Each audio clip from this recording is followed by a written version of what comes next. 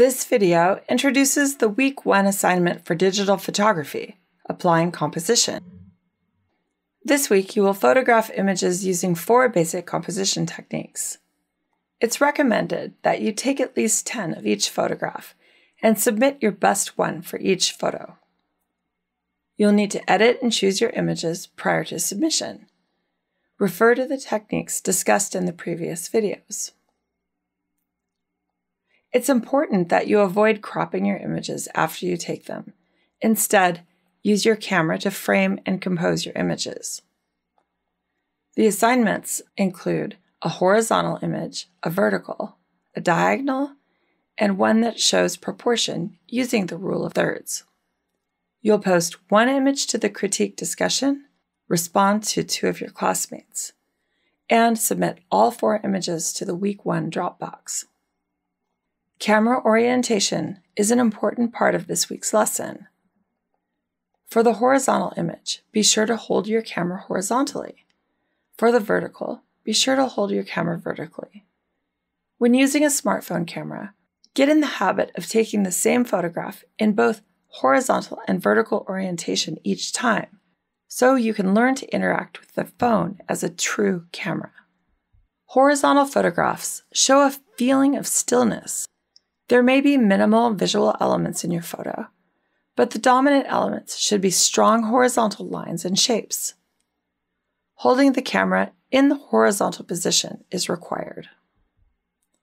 Seek out and emphasize visual elements such as bands of color or shapes, such as the horizontal rectangle shape of green in this image. Don't crop your images after you photograph. Instead, Get the elements you want in your photo when you take the picture. Composition in which horizontal lines dominate tend to be quiet and restful in feeling. Horizontal photos do not need to be landscape photographs that show a horizon. These do not need to be perfectly horizontal, but rather predominantly horizontal. Vertical photos emphasize an upward movement in the composition sometimes portraying a feeling of dominance. Erect lines seem to extend upwards beyond human reach towards the sky. They are often found in public architecture, from cathedrals to corporate headquarters. Holding the camera in the vertical position is required. Vertical lines can communicate a feeling of loftiness and spirituality.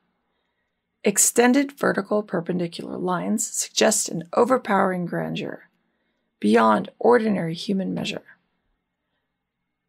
Remember, don't crop your images after you photograph. Instead, get the elements you want in your photo when you take the picture. This will help you learn to become a better photographer. Diagonal lines suggest a feeling of movement or direction. Since objects in a diagonal position are unstable in relation to gravity, being neither vertical nor horizontal, they're either about to fall or already in motion. In a two dimensional composition, diagonal elements such as shape, color, line, light, and texture are used to indicate depth, an illusion of perspective that pulls the viewer into the picture, creating a sense of space that one could move within. Diagonal lines can be used to point to elements in photos that add emotion and impact.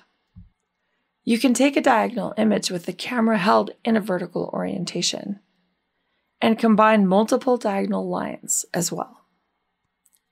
Experiment and have fun with this assignment. Try new things. Deliberate camera tilting can be used to enhance diagonals. The rule of thirds is a compositional guideline that breaks an image down into thirds, both horizontally and vertically.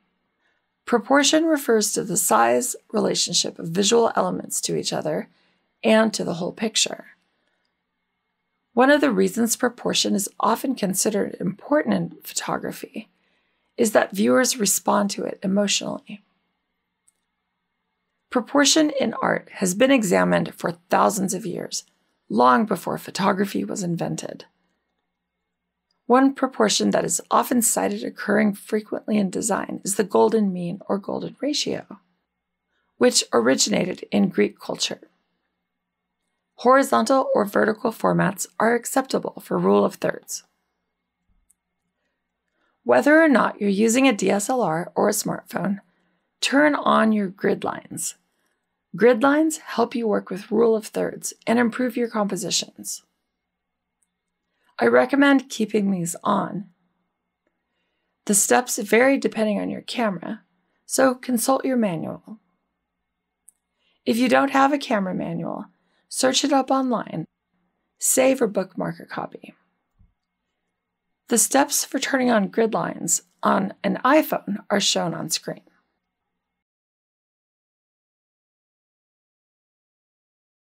The steps for turning on grid lines on Android phones vary depending on your camera. Simple steps are shown on screen. However, consult online resources for your specific camera. For the rule of thirds, place the focal point, which is your subject matter or area of interest, on any of the grid intersections. Take pictures at different angles with different compositions. Work around the rule of thirds, framing elements as you photograph. The rule of thirds strategy will carry with you all the way through the rest of the class. Take your time and study what you're looking at through your camera. Move your camera around to put focal points in the grid intersections. Use design elements, such as line and shape, to divide your photograph into thirds if you like. Your compositions can be simple or complex when applying rule of thirds.